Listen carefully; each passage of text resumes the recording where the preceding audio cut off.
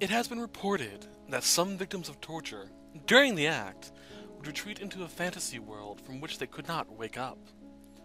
In this catatonic state, the victims lived in a world just like the normal one, except they weren't being tortured. The only way they realized the need to wake up was a note they would find in the fantasy world. It would tell them of their condition and tell them to wake up. Even then, it would often take months until they were ready to discard their fantasy world and wake up. Now, this is a common story that's been around the internet for some time, and is an interesting notion.